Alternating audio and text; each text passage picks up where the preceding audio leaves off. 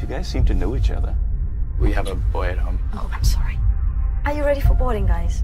Uh, we were born ready.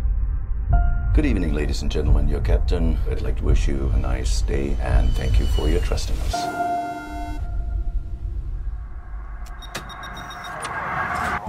So, guys.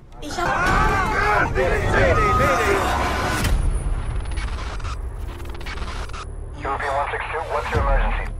We have a 7500. Open the door! Several men attacked our cockpit. We stopped them for now. The captain is injured. Status of the crew, I don't know. They have a hostage. They're going to kill him if I don't open the door. You want other guys to die? Don't stop, please. I can't open the door. Let her go. Please. Please, I beg. Please. I'm sorry, but you know that